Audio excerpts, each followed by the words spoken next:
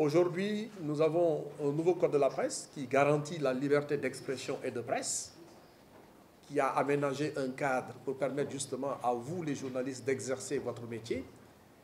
Aujourd'hui, nous travaillons même avec l'UNESCO. D'ailleurs, d'ici trois ou quatre jours, nous allons tenir ici même à la Maison de la Presse une rencontre sur ce qui concerne la loi sur l'accès à l'information pour compléter justement le dispositif juridique en matière d'information.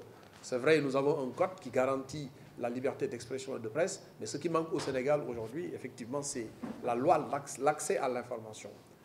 Nous avons parlé de journalistes d'investigation, de journalistes de données. Nous ne pouvons pas faire du journalisme d'investigation ou du journaliste de données si effectivement le pays ne met pas un dispositif réglementaire qui garantit à tous les journalistes l'accès à toutes les informations.